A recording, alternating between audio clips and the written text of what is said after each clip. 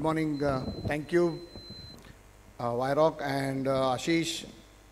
I am going to talk about the multifragmentary proximal femurs, which is right time to get. You know, nowadays, yeah, once you once you get these kind of fractures, it is basically the what the high energy trauma. When you want to fix this, you have to get many things. You should know what is exactly you are going to operate, because it's uh, multiple columns are injured so we have tendency to fix only a plate or a nail, an in, in, intramedullary nail or a plate, so that you don't get onto all the column fixation. So that is the reason it gets a lot of failures and non-unions, especially in multifragmentary fragments. So key factors are the reduction in valgus, maintain the reduction, and fragments with the stability. Now the concept of different stabilities have come up with the absolute, relative, or absolutive stability for fresh multifragmentary fractures. So what are the implants? We will go to the various implants aspects. But basically the in proximal femur fractures, basically the nail works very well in majority of the fragments if you take care of all the fragments. So this is a case which uh, 29 years old with the multifragmentary get all the columns you should know what are the columns it has broken so that you can reconstruct all the columns. You need to have all these equipments to help you out the reduction. Then go on doing the stepwise reductions. That is very important to get into a good valgus position. Get the fragments minimally invasive. Some people are doing encerclage are damaging the soft tissue. It is not, it is just a minimally invasive as much as you can so that you can reduce all those fractures. Then you can convert into a valgus reduction of neck as well as the shaft then you sometimes you require a, a clamp assisted reduction to get into all these fragments, which are also again a minimally invasive. Then you take an entry point. Do not hesitate to take earlier entry point and then start again redo it and so that you wait for the reduction and then you can take an entry point with properly piriformis fossa so that you will get exact entry point and then you can plan your entry and then you can plan your reaming and then you can pass a nail and once everything is stabilized, you can just twist those, taking the pulse oximeter on the foot so that you don't compress the vessel with the medial side.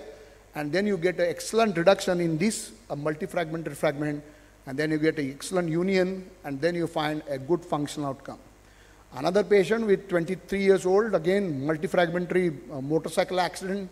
Again, see the CT scan will give you the all global uh, area so that you can know what is exactly you are going to do it.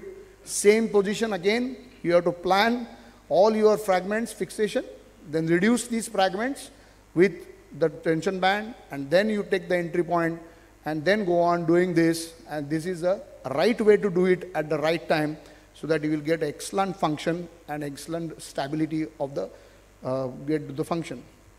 Again, one patient. So again, the CT scan will tell you and then you will get a good functional outcome.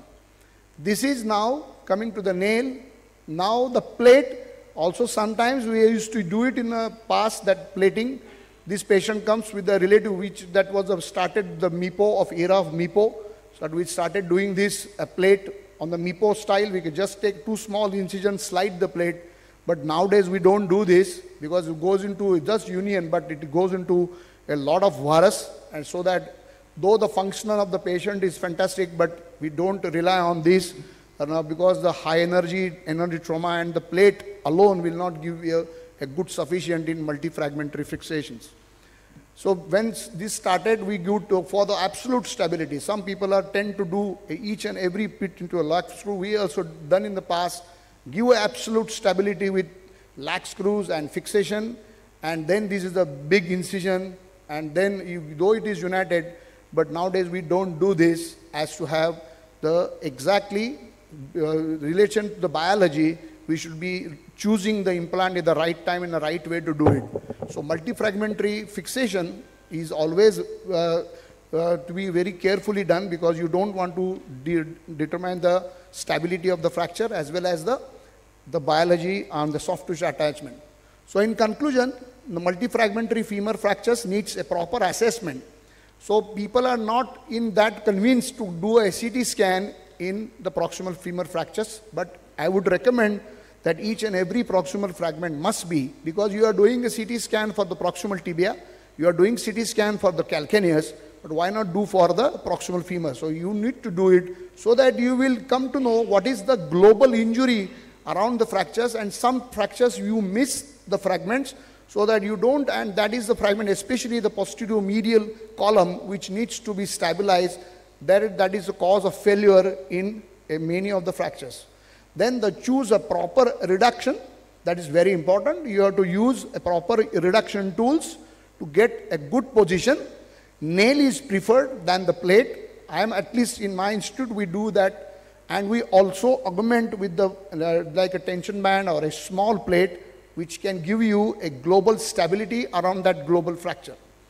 So get it right from the start, get the right plan and right treatment, right implant with a nail or plate, mostly nail, right stability which is absolute or a relative, and mostly it is now relative because we are using a nail, and the absolute stability which I don't want to confuse at the moment, so that which needs to be done, uh, still little more studies on this, and a good physiotherapy is required for the getting a good reduction.